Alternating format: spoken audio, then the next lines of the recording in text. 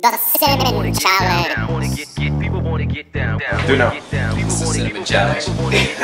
Patrick Clark.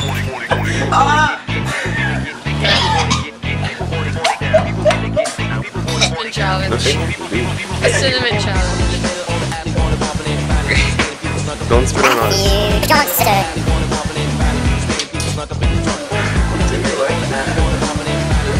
Oh shit, he's actually doing it. You're supposed to swallow it, you know that, right?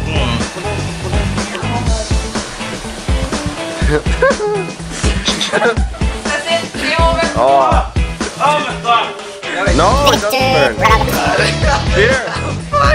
Smash. Victor, go.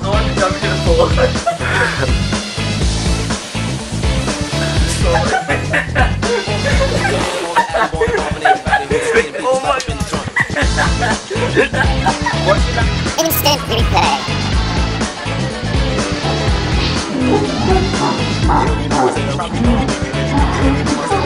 Peter the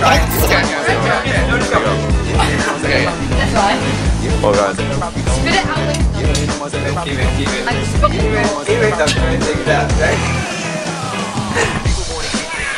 Now, now Oh shit.